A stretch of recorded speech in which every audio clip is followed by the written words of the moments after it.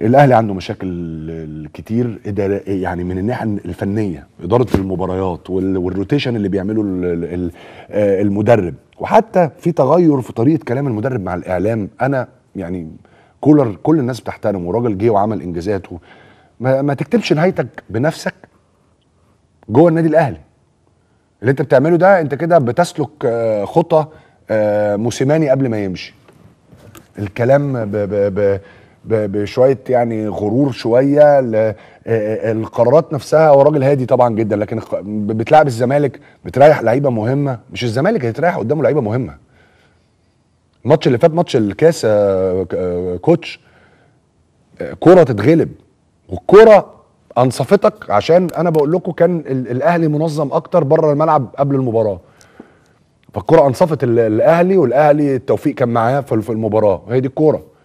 الكوره مش ملعب بس الكوره ملعب ومكتب وقرارات إدارية وكل حاجة. فالأهلي كان منظم بشكل بشكل كبير. الماتش ده التوفيق كان مع الزمالك. التوفيق كان مع الزمالك كان ليه أسبابه برضه. أسبابه إن آه، آه، لعيبة الزمالك والمدرب والجهاز والمجموعة كلها حتى اللعيبة اللي بره كلهم آه، عندهم دوافع كبيرة جدا إن هم يكسبوا النادي الأهلي. عشان كده الزمالك كسب عشان كده التوفيق كان مع الزمالك. عشان كده التوفيق مع الزمالك. ال ال ال ال ال ال الأهلي لا ما حضرش نفسه للماتش كويس. الأهلي ما حضرش نفسه لل- للماتش كويس وماتش الكاس خلى إن كولر يعني مش مشكلة ألعب بفلان وهنزل فلان في الآخر وأقدر أعوض وبتاع لا الكورة مش كده. الكورة مش كده ومش الزمالك اللي يتعمل معاه كده. مهم جدا إن إحنا يعني آه، الراجل يكون رسالة وصلت له يعني. يعني آه، آه، وأكيد أنا متأكد آه، ومعلوماتي إن كابتن محمود الخطيب هيقعد مع كولر وهيقول له لأ الكلام ترتيباتك للمباراة أو قعد معاه النهارده ترتيباتك للمباراة كانت غلط تحضيرك للمباراة كان غلط تشكيلك ما كانش مظبوط حاجات حاجات كتير خلت التوفيق إن هو يروح منك. ولكن الأهلي الحقيقة ما تقلقش عليه في المواقف دي. لأن الأهلي بيعرفوا يتعاملوا مع الأزمات آه، لأن الهزيمة من الزمالك أزمة. الزمالك بقى ترتيبه إيه؟ الأهلي ترتيبه إيه؟ دي مش الزمالك الهزيمة من من الزمالك أزمة بالنسبة للأهلي والعكس صحيح. لكن الأهلي بيجيد التعامل مع الأزمات بشكل أفضل. آه، آه، يعني التوابع ما بتبقاش دايما عنيفة. في الأهلي زي ال زي ال آه، زي الزمالك وده طبعا حاجة تحترم جوه الأهلي اداره الإدارة بتعرف تتعامل مع المواقف دي بشكل آه، آه، بشكل كويس ولكن كولر عنده أخطاء والإدارة عندها أخطاء. في لعيبة بتلعب يا جماعة في الأهلي ما ينفعش تلعب في الأهلي. ما تزعلوش مني يعني. مهما كان في في في كده standards معينة بتاعت لعيب الأهلي بتاعت لعيب الزمالك بتاعت لعيب المنتخب. ال standards دي لو انت اتسامحت فيها مرة واثنين وثلاثه خلاص ال level بتاع ال standards ده نزل خد درجة لتحت downgrade فبقت خلاص دي ال standards بتاعتك. زي ما حصل كده في الزمالك بعد الجيل العظيم اللي هو من 2001 ل 2004 ده اللي هو كسب كل حاجة ابتدى الزمالك إيه معلش مع احترامي يمضي لعيبة إيه من الشرق ومن الغرب وفلان معدي من قدام النادي تعالى وبتاع فابتدت ال standards ال expectations والتوقعات تقل. فالزمالك ما عرفش يكسب حاجة. نتش له كاس بس ب 10 سنين ومش ما ينفعش. ليه؟ لأن الناس ابتدت تتسامح في ال standards أو أو المواصفات الرئيسية لل- للعيب اللي يلبس فانيلة الزمالك. نفس الكلام النهارده.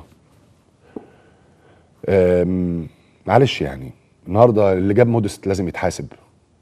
مش عشان مودست لعيب وحش ك career ك career ك career آه، مودست عمل career هايل في أوروبا. لكن اللعيب بيوصل لمرحلة معينة خلاص بيبقى بيوصل لل peak بتاعه اللي هو أفضل مستوى ليه. بعد كده ممكن بيحصل له downgrade ماخدوش بقى وهو نازل في آخر الزحليقة. مش الأهلي اللي ياخد لعيب وهو نازل في آخر الزحليقة. خلاص. لأ. مين المسؤول عن إنه يجيب مودست؟ ومين المسؤول على الإصرار ب- على بقاء مودست؟ ومين المسؤول ان إن مودست يبدأ؟ ده راجل مع احترامي الكبير ليه والله ما بحبش أبقى يعني قاسي على اللعيبة لكن مش قادر يتحرك خالص. يعني هو بيحاول. وأنا متأكد إن هو راجل professional وراجل كذا لكن الاحترافية لا تكفي. الاحترافية لازم تبقى قادر في الملعب. الراجل مش قادر يتحرك. معلش. في لعيبة م- لا. لا. كريم ندفد ما ينفعش يلعب في الأهلي. مع احترامي الكبير كريم ندفد راجل مستواه أقل من الأهلي بكتير.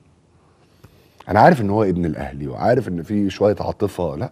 إنما مش يعني كل الماتشات اللي بشوفها كريم ندفد 90% منها حتى هو في فيوتشر وحش وما بيتطورش. ما في لعيب بيبقى عنده بوتنشال يعني إيه؟ لعيب عنده ممكن يبقى كويس. وبعد كده بيوصل لمرحلة بيقف عندها. بنشوف الكلام ده في لعيبة كتيرة كتيرة جدا. أنا عارف ان كريم ندفد ولد طيب جدا وبتاع وأنا زعلان ان أنا بقول عليه الكلام ده كان ما ينفعش يلعب في الاهلي. مستواه مش مستوى الاهلي. فيبدأ ماتش الزمالك. انت بتظلم اللعيب. مش قادر ان هو يجاري الريتم ده.